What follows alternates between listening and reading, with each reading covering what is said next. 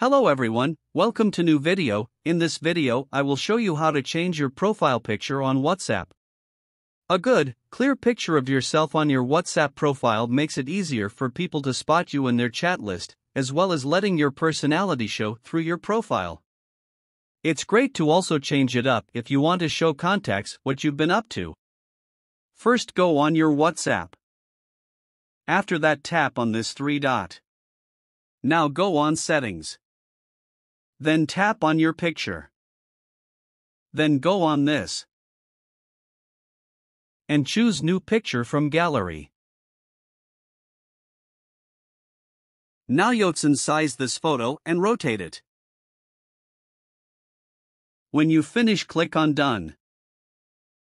So that is it for this video, if this video like you, leave a like and subscribe for more tutorial like this.